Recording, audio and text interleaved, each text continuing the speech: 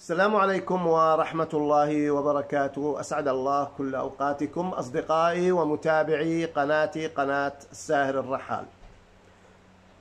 موضوعنا اليوم موضوع متعلق بفكرة الأكوان الموازية اللي آه، طرحت في هذه القناة بسبب آه، آه، فيديو الجمجمة الكريستالية وما توصلت إليه من نتائج علمية حول وجود كون موازي. الآن ما معنى الكون الموازي؟ إحنا لما نقول كون موازي شو معناها؟ يعني هذه هذا السؤال اللي طرح وأرجو أنه إن شاء الله في نهاية الموضوع أو في نهاية الحلقة تكون الفكرة بشكل عام يعني اتضحت ولو بنسبة يعني يعني بنسبة جيدة. مو شرط 100% ولا 90% نطمح فقط إلى تقريب الفكرة مسافة مسافة معينة. وفي كل مرة إن شاء الله كلما سنحت الفرصة يكون في هناك تقريب أكثر حتى نصل إلى مستوى جميل من الإلمام بهذه الفكرة العلمية اللي فعلا مطروحة على طاولة البحث عند كثير جدا من علماء الفيزياء. وأصبح هذا المجال مجالا معترف به كنوع من الفيزياء المادية اللي نتكلم عنها واللي بنتواصل معها واللي بنتأثر بيها واللي بتكون موجودة في حياتنا اليومية حتى في حياتنا اليومية. طيب ما معنى فكرة الكون أو الأكوان الموازية أو المتوازية أو المتداخلة؟ ما هي نفس الأسماء. يعني كل لكن كل مصطلح يوضح آه ويعني يوضح طرف من الموضوع. إحنا لما بنقول موازية أو متوازية يعني موجودة معا. موجودة معا. لما نقول متداخلة هي موجودة معا لكن مختلطة في نفس الحيز المكاني. في نفس الحيز المكاني. الآن بما لو فرضنا أنك آه، أنت جالس في مكان لتوضيح يعني هي هذا المثال يعني ليس توضيح للفكرة بشكل دقيق ولكن قد يقرب الموضوع شوي. نفترض أنه أنت جالس في مكانك على كرسي الكرسي محصور يعني ما في إمكانية أنه يجلس بجنبك شخص آخر. فقط لشخص معين شخص واحد. تخيل أخي الحبيب بأنه في شخص آخر جالس معك. جالس بنفس ما أنت جالس على نفس هذا الكرسي أيضا. لكن لا أنت تراه ولا هو يراك. لا أنت تشعر به ولا هو يشعر بك المكان هو نفس الكرسي. الكرسي اللي عرضه من اليمين إلى اليسار عرض المقعدة مثلا 45 سنتي. والركاية مرتفعة من هنا ومن هنا من اليمين واليسار. فما في مجال مكان أنت تملأ هذا المكان. أنت تملأ هذا المكان هذا الحيز المكاني. تخيل إنه هناك مخلوق آخر يجلس معك وفي مكانك بالضبط على نفس هذا الكرسي. لكن لا أنت تراه ولا هو يراك لا أنت تشعر به ولا هو يشعر بك. هو في عالمه جالس وينظر حوله والعالم مختلف. وأنت أيضا في عالمك العادي الطبيعي المادي أيضا آه، عايش جلستك وقعدتك وتشرب وتتكلم وتتحدث مع آخرين. لا تدري عنه ولا هو يدري عنك. هذه فكرة فكرة مبسطة للكون أو للكونين المتوازيين. طبعا مو شرط يكونوا كونين لكن على الأقل كونين. يعني ممكن يكونوا عشرة خمسة عشر عشرين. ممكن ليس لها آه، آه، عدد. كما يعني خرج أحد العلماء بنتائج كهذه. يقول أن الأكوان الموازية آه، ليس لها عدد. وفي وفي كل لحظة يتكون أكوان موازية أخرى أو متوازية أخرى. ما علينا إحنا المهم عندنا نستوعب الفكرة. نستوعب الفكرة. لاحظ إنه كمان كتوضيح لهذه الفكرة آه، أنت جسدك هذا المادي الجسد المادي لاحظ أخي الحبيب هذا الجسد هذا أساسا حيز مكاني. استوعب معي ركز. هذا الجسد حيز مكاني لثلاث كائنات. لثلاث كائنات. تمام؟ الآن قبل أن يدخل أي من هذه الكائنات الثلاثة إلى جسدك كان جسدك عبارة عن كتلة لحمية مادية ليس لها قيمة. ليس لها قيمة. عبارة عن كتلة مادية صنعت وأسست وأقيمت كبناء بيت كالبيت لتحتوي على هذه آه، المخلوقات أو الكائنات الثلاث. راح نوضح الفكرة بعد ثواني. الآن عندما كبر الجسد وأصبح مؤهلا لإستقبال الضيوف لإستقبال الضيوف جاءت أولا أو جاء أولا الضيف الأول وهو أنت. كيف؟ يعني كيف؟ كيف أنت جئت؟ النفس نفسك. أنت جئت من العالم الآخر من عند الله سبحانه وتعالى. أرسلك أرسل النفس اللي هي أنت إلى الجسد هذا. هذا الجسد ليس أنت انتبه. هذا الجسد ليس لك هذا فيه ثلاثة شركاء. الآن بدأنا نعرف الشريك الأول أو الضيف الأول. جاء هذا الضيف فسكن الجسد وما زال هذا الجسد في بطن أو في رحم أمك في رحم الأم أثناء الحمل. الآن هذا الضيف الأول شغل هذا الجسد. شغله كاملا من قمة رأسه حتى أخمص قدميه. سيطر عليه. يتحرك حرك الأصابع يرمش مثلا. كل يأكل يشرب الأجهزة كلها تعمل مع هذا الضيف الجديد مع هذا الضيف الأول. الآن عندما وصلت إلى سن البلوغ جاء ضيفان آخران. انتبه للفكرة الآن. جاء ضيفان آخران وهما القرين الشرير والملك الطيب أو الملك الصالح الذي اللي هو القرين الطيب. في قرناء اثنين إلك. قرين القرين الشيطاني والقرين الملائكي. هذول القرينين أو هذول الضيفين الأخيرين أيضا استقبلهم هذا الجسد هذا المنزل اللي أسس أساسا لاستقبال ثلاث ضيوف. جاء القرين وجاء الملك فاستوطنوا أيضا هذا الجسد. أنت موجود في جسدك وهم أيضا موجودين في هذا الجسد. تمام؟ أنت لا تراهم هم قد يرونك أنت لا تراهم. لكن الفكرة الآن طبعا الأكوان المتوازية معزولة عن بعضها نهائيا. الأكوان المتوازية معزولة عزلا كاملا. لكن إحنا استخدمنا هذا المثال الآن حتى أقرر أو أقرب فكرة كيف تكون الأكوان الموازية موجودة في حيز واحد في بيئة مكانية واحدة. تمام؟ الآن جسدك إذا أصبح الآن هذا الجسد ليس لك. على فكرة واقعيا ليس لك هو لثلاثة. وعند الموت الثلاثة يغادروا معا الثلاثة يغادروا معا. ويبقى المنزل خاليا فيلقى به في المقبرة.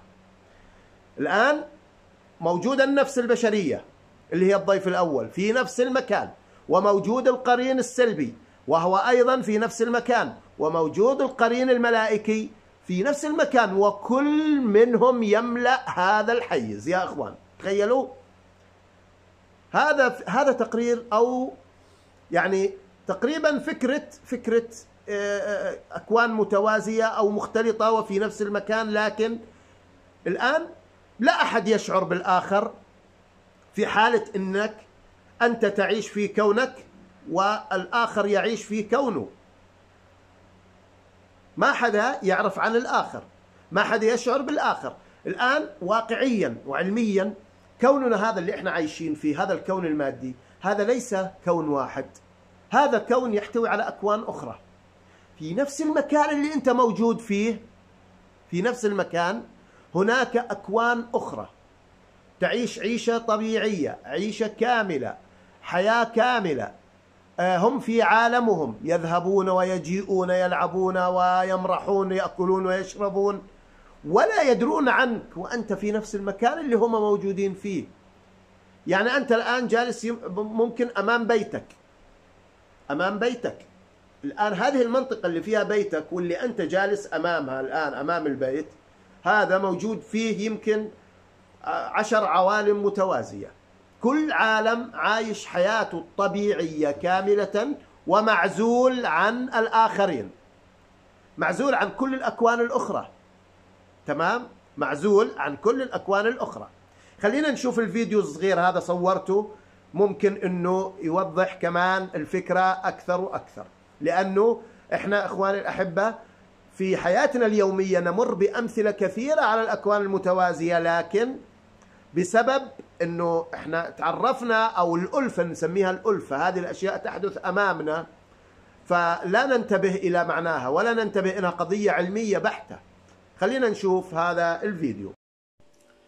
طبعا كتوضيح على فكرة آه، الأكوان الموازية فعندنا هون آه، هذول الكأسين. كل كأس في النص بهذا الشكل آه، مملوء إلى النصف ماء. طبعا إخواني الأحبة في عندي هنا نعتبر أنه الكأس الأول هذا ماء ماء نقي صافي. الكأس الثاني إذا مزجنا فيه قليل من السكر بهذا الشكل وحركناه. أنا أريد أن أعطيكم يعني آه، بس فقط مثال توضيحي لفكرة كون موازي. ما معنى كونين موازيين أو متوازيين؟ كونين متوازيين. نعتبر أنه هذا الماء هو في هذا الكأس هو الكون الأول وهذا هو الكون الثاني. الآن بالوضع الحالي الآن أصبح هذا آه، شكل وهذا شكل آخر. هذا محلول آه، حلو اللي هو محلول السكر. هذا ماء صافي. الآن إحنا نشبه الفكرة بالطريقة التالية. في حالة أنه كانوا منفصلين بهذا الشكل ما يعتبروا متوازيين أو متداخلين بنفس الاسم يعني متداخل ومتوازي أو متداخلين ومتوازيين نفس الفكرة. آه، الآن في حالة أنهم منفصلين بهذا الشكل ما في مشكلة ما ما اختلفنا ما في ما آه، آه، فك معنى لفكرة الكون المتوازي. لكن الآن لاحظوا إذا أخذنا هذا هذا الكون هذا الماء المحلى وأضفناه على هذا الماء بهذا الشكل الآن أصبحت كمية كمية الكون الأول متمازجة مع كمية الكون الثاني وبالتالي أصبحوا في مكان واحد ومختلطين مع بعض. لاحظوا في مكان واحد هو نفسه هذا العالم اللي هو الكأس ما داخل الكأس هذا يعتبر عالم واحد الآن. الآن عندنا مادتين مختلفتين لكنهم متمازجتين. كل مادة تعيش عالمها لوحدها تعيش عالمها لوحدها تعيش زمنها لوحدها تعيش حضارتها لوحدها تعيش كل شيء لوحدها منفصلة عن الحياة الأخرى أو عن الكون الآخر. في نفس الوقت لا أحد من الكونين يعلم عن الكون الآخر بمعنى أنه أهل أهل المحلول الملحي يعني لو فرضنا أنه المحلول المحلى عفوا المحلول المحلى هذا اللي دمجناه أو مزجناه كون به مخلوقات اللي هي ذرات السكر تعيش الآن في نفس الكون الكونين مع بعض حبات أو حبيبات السكر المذابة لا تعلم عن حبيبات أو أو لا تعلم عن جزيئات الماء اللي في الكون الآخر. وبالتالي آه، حبيبات السكر موجودة في عالمها لا تعلم عن العالم الآخر علما بأن العالمين متمازجين ومندمجين ومتوازيين مع بعضهما البعض وفي مكان واحد. أرجو أن تكون الفكرة قد اتضحت ولو بنسبة 40% على الأقل. شكرا للجميع. فالآن آه، لعلكم لاحظتم إخوتي الأحبة كيف فكرة الماء ممكن إنها وضحت آه، مفهوم الأكوان الموازية بشكل دقيق أو بشكل آه، يعني جيد على مستوى آه، في المستقبل إن شاء الله. إذا طرحت أفكار أخرى في هذه القناة حول هذه المواضيع يكون في عندنا نوع من المعلومات المسبقة بحيث نستطيع أن نبني عليها. يعني بحيث أن نستطيع أن نفهم ما سيقال لاحقا. الآن آه، في ملحوظة مهمة أنه هل الجن يعتبروا من هذه الأكوان الموازية؟ في الواقع هناك إحنا الأكوان الموازية أو المتوازية في عندنا نوعين مهمين. كون متوازي جزئيا وكون متوازي كليا. كيف يعني؟ الآن كون موازي أو متوازي جزئيا بمعنى أنه هم يستطيعوا أن يروني لكن أنا لا أستطيع رؤيتهم. موجودين معي في نفس المكان. لكن أنا لا أستطيع رؤيتهم هم يستطيعوا رؤيتي. أيضا إذا أنا استطعت رؤيتهم هم ما استطاعوا رؤيتي بمعنى أنه هذا إيش؟ كمان كون موازي جزئيا. في عندي الكون الموازي كليا. وهو لا أنا أستطيع رؤيتهم أو الإحساس بهم أو إدراكهم وأيضا هم لا يستطيعون رؤيتي أو إدراكي أو الإحساس بوجودي. لا أنا ولا الكون اللي أنا فيه. طبعا لا, لا نتكلم عن شكل أو بشكل شخص يعني عنصر معين من هذا الكون. لا لا الكون كله كاملا في حالة من الحالات ممكن أنه نعبر إلى هذه الأكوان أو يصبح هناك نقطة عبور. في نقطة عبور تحدث إذا إذا العنصر الأقوى استطاع أنه آه، أو يعطي الإذن بها يعطي الإذن. بمعنى لو تكلمنا عن مثل الكون الموازي كليا لا هو يراني ولا أنا أراه. لا أنا أرى كونه ولا هو يرى كوني نهائيا. لكن إذا أعطاني هو الإذن أستطيع أنا أني من خلال عملية معينة أني أنفذ إلى كونه أدخل إلى كونه. بكود معين برمز معين أحصل عليه من عنده أستطيع العبور إلى هذا العالم جسدا وروحا كاملا يعني كما أنا. كأني مسافر إلى دولة أخرى. ثم العودة أيضا. الآن هل أستطيع أن أعيش هناك؟ هذه قضية أخرى. سأخضع لقوانين كونهم بالتأكيد سأخضع لقوانين كونهم. لكن في نفس الوقت ممكن أن أعيش حالتي الطبيعية الأصلية. الموضوع شائك لكن سيتضح إن شاء الله. لا نريد أن نخوض في التفاصيل الآن. لكن آه بشكل عناوين أو كانها مثل ما نحكي يعني آه، آه، أفكار رئيسية. أفكار رئيسية وقواعد أساسية للتعامل مع هذه الأكوان المتوازية. إخوتي الأحبة لاحظ أنت تستطيع في حالة من الحالات إنك تتواصل. وهذه البداية. تستطيع آه، تخلق تخلق نوع من القناة بينك وبين هذا الكون عن طريق إرسال رسائل ذهنية، الرسائل الذهنية مهمة جدا في عملية التواصل مع الأكوان المتوازية. موضوع آخر في هناك طريقة للعبور أو طريقة للمشاهده من كون إلى آخر ولكن هذه آه، تحدث بعد أن تحصل على الإذن. لاحظوا القرآن الكريم تكلم عن هذه النقطة بالذات وسماها أو آه، فكرة الاطلاع. الاطلاع. الآن الجنة كون والنار كون. كونين متوازيين هذول على فكرة. الجنة لذلك آه، هذه معنى فكرة جنة عرضها السماوات والأرض. اجى واحد أحمق يقول فأين النار؟ أيضا في أيضا عرض عرض السماوات والأرض. في نفس المكان لأنهم. الجنة والنار في نفس المكان لكن هذول يعيشوا في عالمهم وهذول يعيشوا في عالمهم. عالم كامل متكامل. لا أحد يشعر بالآخر إلا في حالة الاطلاع. كيف اطلع؟ عملية لا, لا نعلم ما هي لكنها نوع من الإذن. أخذ إذن بالعبور أو بالنظر أو بالاستطلاع أو بالمشاهدة. قال هل أنتم مطلعون؟ فاطلع فرآه في سواء الجحيم. طلع على النار. مش إنه كان إذا ناس يقول لك لا ما هو النار بجنب الجنة بإمكانه. طيب هذا الرجل اللي اطلع هذا كاين في منتصف الجنة على مسافة بعيدة جدا لو افترضنا كما يقال. لكن هم الكونين متداخلين بهذا الشكل مختلطين. في نفس المكان.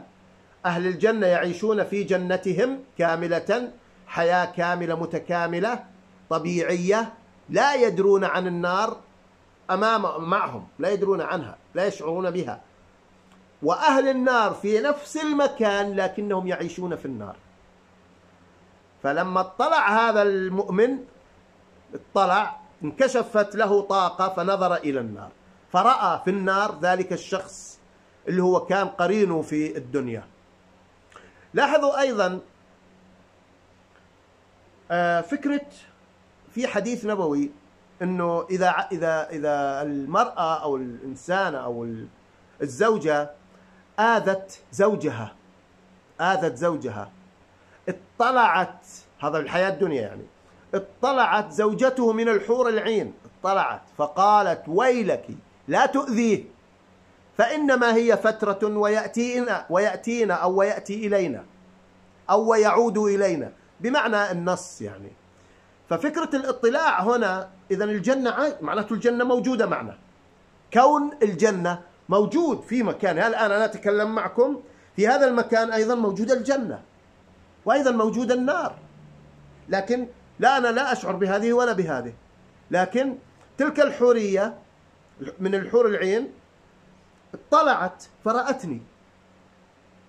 رأت هذه. إذا إحنا مراقبين يا أخوان. إذا إحنا مراقبين. في أي لحظة ممكن يطلع كائن من الأكوان الموازية ويرانا؟ لاحظوا؟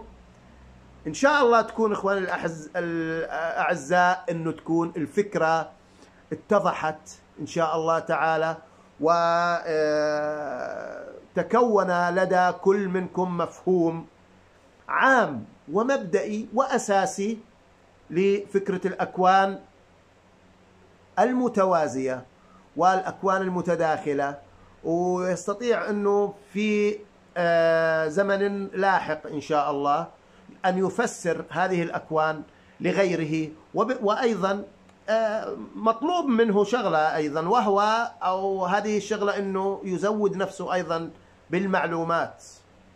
يعني هو أيضا يبدأ الآن يقرأ موجود يعني في كل مكان على النت في كثير من المواقع. آه، فكرة الأكوان الموازية فكرة التداخل والتوازي هذه بين الأكوان موجودة. يعني أنت لا تحتاج أنك تمشي مسافات طويلة إلى المكتبة العمومية أو إلى آه، فتستعير كتابا وتبدأ بالمطالعة. لا أنت الآن المكتبة العمومية وعشرة أضعاف ومئات الأضعاف موجودة عندك في البيت في الهاتف اللي أنت تحمله. بإمكانك تقرأ ما تريد. تبحث عن ما تريد وتقرأ وتتزود بالمعلومة وتصبح على اطلاع. نعود مرة ثانية إلى فكرة الاطلاع. تصبح على اطلاع كبير بما يدور حولك. فترى ما لا يراه غيرك. وهذه ميزة القراءة والمطالعة. والاهتمام. لازم تقوي عندك الطاقة الطاقة الفكرية. أنت عبارة عن طاقة كامنة. إذا ما استخدمت هذه إذا ما آه، قدرت هذه الطاقة أعطيتها قدرها الحقيقي وقويتها وفعلتها بشكل صحيح ستتبدد. ولن تستفيد ولن تفيد الآخرين. وبالتالي ستكون عبارة عن مجرد آه، نقطة نقطة ماء في بحر. لا تؤثر في شيء. لا تؤثر أبدا. ولذلك أتمنى من الجميع أن يصبح لديه المعلومة حول هذا الموضوع. على فكرة أخواني الأحبة هذا الموضوع أيضا مهم جدا في الفكرة الأساسية من القناة والعمل الأساسي من القناة اللي أنتم تعرفونه. وهو البحث في آثار القدماء وحضاراتهم. إذا ما كان عندك معلومات مؤكدة وجيدة وجميلة وكافية عن الأكوان الموازية والمتوازية والمتداخلة فلن تحل بعض يعني بعض المشكلات اللي تواجهك. أحيانا تواجهك مشكلة في الميدان سببها الأكوان الموازية سببها الجن وهم متوازيين جزئيا كون موازي جزئيا. تستطيع أن تشعر تستطيع يصير عندك آفاق يصير عندك ملكة الإحساس المرهف بالكائنات التي لا نراها تصبح قوية جدا. إن شاء الله نكون آه، أجزلنا نوعا ما في تبيان وكش وتوضيح آه، المفهوم العام لهذا المجال الجميل. تحياتي لكم مني أنا الساهر الرحال.